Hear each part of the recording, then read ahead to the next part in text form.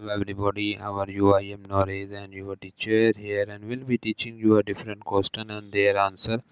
So I welcome you on classtheta.com where we'll be discussing question. So let's get on the question.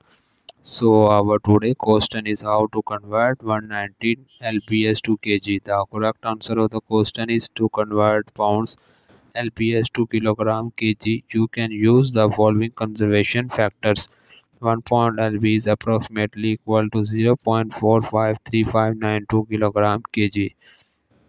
Now you can convert 119 pounds to kilograms. 119 lbs multiply 0.453592 kg it's 6.18248 kg. So 190 pound is accumulated to 86.18248 kilograms when rounded to 5 decimal places. So that the answer of the question if you are searching any other question please visit www.classtheta.com and find on the search section if you have any question to ask there are sessions on the right side of the website fill the form and will be answering you as soon as I can. Thank you for watching this video.